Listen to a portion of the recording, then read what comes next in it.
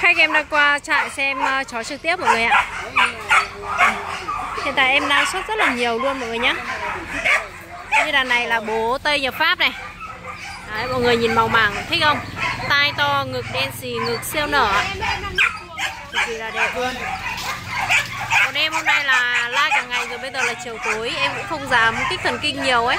Nhưng mọi người nhìn không kích thần kinh nhưng nó nhìn thấy ờ, những cái hoạt động ở bên ngoài nó rất là tập trung và nó hướng theo ấy.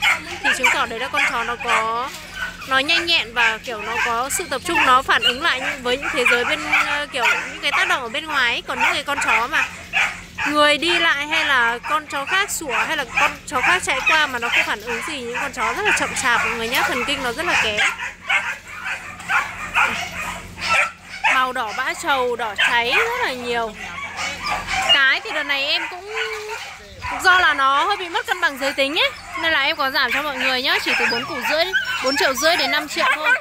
Em lần này em like tiktok uh, em like uh, hơi nhiều nên là quên báo giá kiểu củ rồi. Đây như những bạn này. Cái thì em đang để cho mọi người là bốn củ rưỡi đến 5 củ thôi còn uh, triệu rưỡi đến 5 triệu thôi. Còn đực thì xuất sắc đầu đàn là 6 triệu còn rất là nhiều những bạn khác thì chỉ từ ba triệu rưỡi bốn triệu rưỡi cũng có đây bạn này là bạn bố quân trùng nhưng mà sinh sản trong nước thì em để cho mọi người giá 4 triệu rưỡi thôi, nhưng mà thần kinh rất là căng. Chân dài ngực đen. Nhỉ.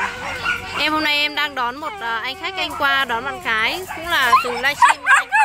Xem livestream cho em anh ấy thấy. Đây đằng sau là đen tuyền cũng có mọi người nhé đây là em chỉ bắt ờ, một số bạn ra để em livestream thôi. Vâng, anh sang đến đây em để anh ta đấy thôi. Một giá mà bố ạ mọi người ờ, thích bạn được hay cái thì mọi người liên hệ vào cái số hotline em ghi ở trên màn hình mọi người nhé chào mọi người.